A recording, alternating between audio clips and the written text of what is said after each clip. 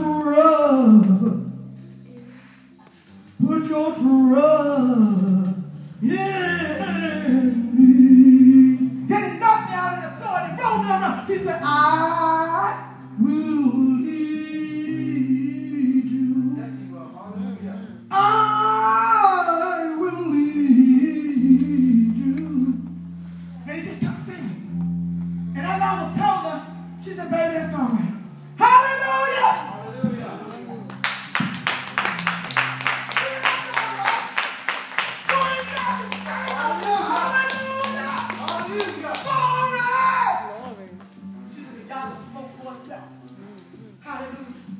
know what it is. I it. I don't lean it on it. I don't care what your situation is. You got to trust it. And then I said I had one more and that's it. My little child running around now. When they, they taught us faith. I tell you, if you got to go to the doctor, God said that was a blessed physician. Get on to the doctor and get your diagnosis and trust Yahshua to do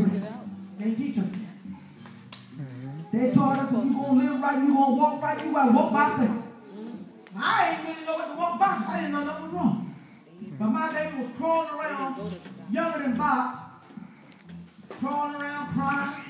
We kept getting her up seeing what was wrong and feeding her and doing everything we could. We didn't know what was wrong. Took the girl to the doctor. They told her she had an ear infection. She should be crazy or dead.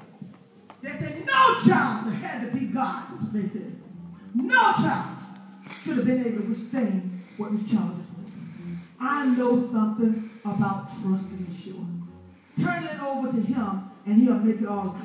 And I said, all oh, they little, they still little. They got the big stuff. That's the little stuff. Just to let you know that you got some problems, and I'm not talking about just physically. I'm not just talking, I'm talking about mentally.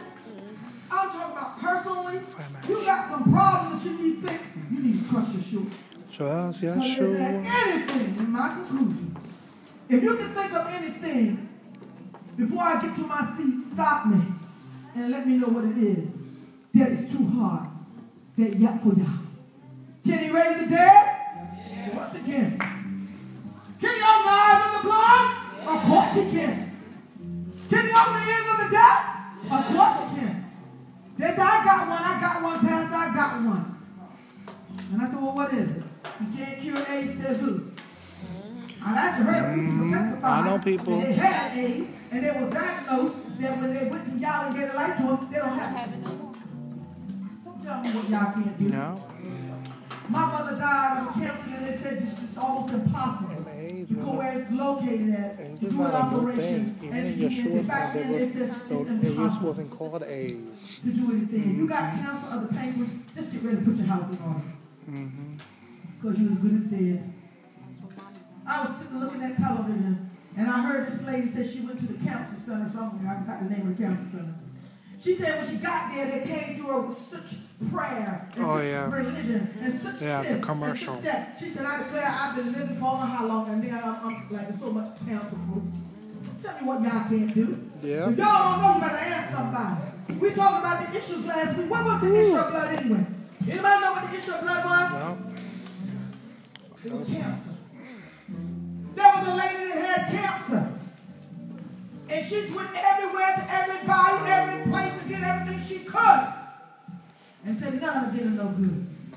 But when she reached out and touched y'all shoes, see, somebody she, help y'all touching you. She touched this part. Somebody about you touching him.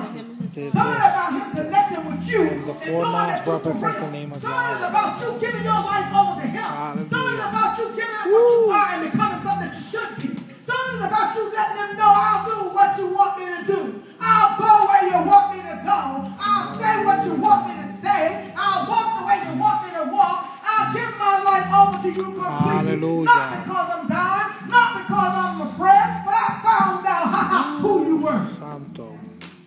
And I love you. And there ain't nothing, nothing, absolutely nothing too hard for. Hallelujah. Hallelujah. Hallelujah.